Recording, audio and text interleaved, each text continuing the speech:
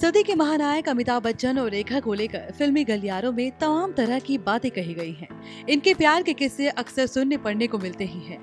रेखा ने कई बार big B से प्यार का इजहार करने को सोचा, लेकिन फिर विवादों के कारण उन्होंने चुप्पी साध ली कहा जाता है कि रेखा आज तक अमिताभ बच्चन को भुलाने में नाकामयाब रही है जब भी मौका मिलता है, वो बिग बी की तारीफ़ करने से नहीं चूकती हैं। रेखा ने अपने बहुत से इंटरव्यू में बार बार अमिताभ का नाम लिया और उनके साथ अपने रिश्ते को कबूल भी किया लेकिन बिग बी की तरफ़ से कभी इन बातों पर कोई टिप्पणी नहीं की गई। यहाँ तक कि वो हमेशा रेखा के साथ अपने कथित संबंधों को नकारते ही रहे।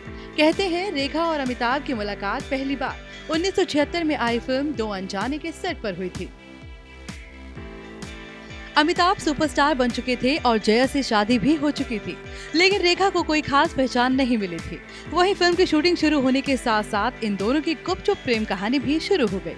फ़िल्म हिट रही और इनकी जोड़ी इतनी पसंद की गई कि इन्हें सुहाग, मुकद्दर का सिकंदर और राम बलराम जैसी कई और फ़िल्मों में साथ में ऑफ़र मिला। माना जाता है कि ये दोनों रेखा के एक दोस्त के बंगले पर ही मिला करते थे। लेकिन इनका प्यार सबके सामने तब खुलकर आया, जब फ़िल्म गंगा की सौगंध के समय एक को एक्टर ने रेखा के साथ बदतमीजी कर दी थी और फिर अमिताभ अपना आपा खो बैठे थे। खबरें ये भी उड़ी थी कि इन दोनों ने गुपचुप तरीके से शादी भी कर ली है। इन अटकलों को तब और हवा मिली जब ऋषि और नीतू कपूर की शादी में रेखा सिंदूर लगाए और मंगलसूत्र पहनकर पहुँच गए थे। उस रात की तस्वीरें मैगजीन में भी छपी थी।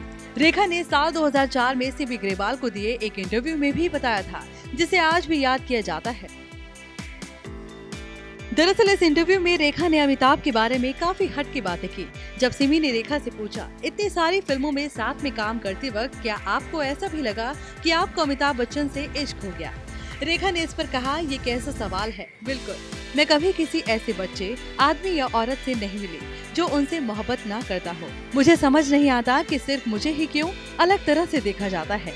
मैं भला क्यों इस बात से इनकार करूँ कि मैं उनसे प्यार नहीं करती? मैं भी उनसे बेहद प्यार करती हूँ। दुनिया भर के लोगों के प्यार में थोड़ा और जोड़ लीजिए। मैं उनसे उतना ही प्यार करती हूँ। रेखा इतने पर ही नहीं रुकी। इस इंटरव्यू में उन्होंने आगे कहा, मेरा कभी उनके साथ कोई पर्सनल रिलेशनशिप नहीं रहा, और यही सच है। सिमी के साथ इस बातचीत में उन्होंने साफ़ कहा कि वो अमिताभ की तरफ़ आकर्षित थी और एक फ़ैन की तरह उनसे मोहब्बत करती थी। ब्यूरो रिपोर्ट ई ट्वेंटी अगर आपको हमारा ये वीडियो पसंद आया हो तो इसे लाइक और शेयर ज़रूर करें। और हाँ हमें सब्सक्राइब और फॉलो करना ना भूलें। ताकि आप एंटरटेनमेंट की कोई भी खबर मिस ना करें। चाहे बॉलीवुड और टीवी से जुड़ी बिग न्यूज़ हो या स्टार्स का लाइफस्टाइल बी टाउन की कोई पार्टी हो या सेलिब्रिटीज की डेटिंग फ़िल्म और टीवी इंडस्ट्री की गॉसिप हो या कंट्रोवर्सीज हर वीडियो मिलेगा ई ट्वेंटी फोर पर। तो फिर धमाकेदार एंटरटेनमेंट के लिए जुड़े रहिए हमारे साथ और देखते रहिए ई ट्वेंटी फोर